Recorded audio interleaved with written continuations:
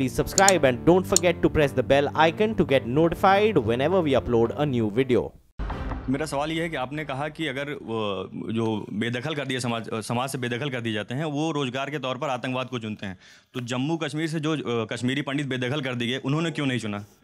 बहुत अच्छा। जवाब दीजिए जवाब भाई अच्छा देखिए पहली बात तो ये तय हो जानी चाहिए रोज़गार से इन्होंने कहा वो। राहुल जी ने रोज़गार का विषय नहीं बताइए मेरे को राहुल गांधी बता रहे क्यों बता रहे भैया? मैं राहुल गांधी नहीं हूँ। मत बताइए ऐसे। जम्मू कश्मीर के पंडितों की परिस्थितियों को आपको जानना होगा।